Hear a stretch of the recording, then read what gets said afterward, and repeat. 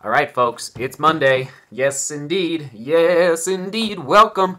If you're new, especially welcome, because you may not know that on this channel, I strive every Monday to give a shout out to the best comment in the previous seven days. And if you remember, last week, I think a week ago exactly, I was talking about discernment and trying to figure out the future of this YouTube channel. Channel, uh, you know, the difference between playlists and channel, new channels. And so, Kofuzi from Chicago, a fellow YouTuber, gave some great insight into this topic. Let me read it. It's kind of long, but it's really good, so pay attention, especially if you are just intrigued by the entire YouTube landscape, where it's been, where it might be going in the future. All right, here it is. In quotes. I had a similar dilemma. I would consider keeping it to one channel, but let one of the two sides become the dominant voice. This will make it easier for new visitors to figure out what your channel is quickly all about. And then in uh, parentheses, he says, which should lead to more people subscribing. Over the past couple of years, I have realized where I fit in the running universe. He's a runner in Chicago. I'm a non-elite runner. This is the lens through which all my stories get told through. The main running season is over and temps are dropping. What does that mean for a non-elite runner? I have a job and kids and a whole bunch of other stuff that happens in my life that's not necessarily running.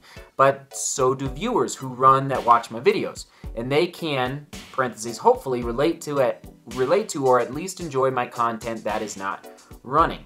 For you, you're a trail runner, or however you decide to focus that lens. What does Christmas time look like for a trail runner? Great question, Kofuzi. Or if you go the other way, what does a personal pursuit like Nolan's 14 look like for a dad, or a small business owner, or a Coloradan? With a third child on the way, you can still tell all the stories you want to tell. The lens just changes a little bit. Fascinating. End quotes. Um, I added that fascinating part. Fascinating, fascinating thoughts, fascinating comment of the week. Thank you, Kofuzi, and um, it helps. But I'm not going to dive too deep into it other than to say that that comment of the week helps with my discernment, which I'm not done discerning, figuring out the future of this channel, but just know that I'm still obviously reading your comments every single day, analyzing them, uh, thinking on them, reflecting on them, and uh, that was amazing. So, if you care to, comment below, and who knows, maybe you'll get a shout out for the comment of the week. All right, off to, uh, speaking of running, my run today.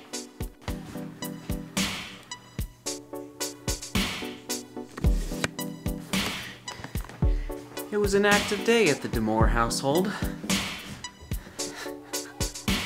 Front yard.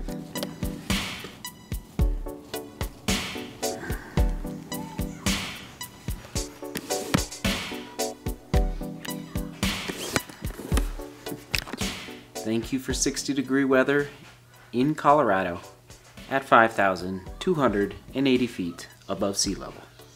Thank you. Oh, in December.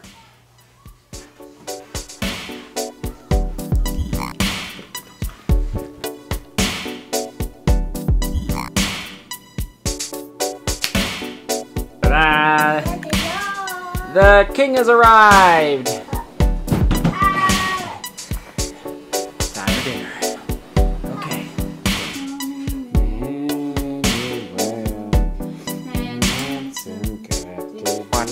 Blinders. Oh, appointment. And we'll watch The Crown another night. Hunt, and maybe we can watch The Crown. Maybe Oh, okay, one. sure. I just don't know what will happen to my body when I leave. Joseph, I apologize for all the calling out that I couldn't attend to. I was making this. Ta-da! Ta-da! Boy, are you a handsome bear, I tell ya. Welcome. Remember, you guys are feeling a little funky.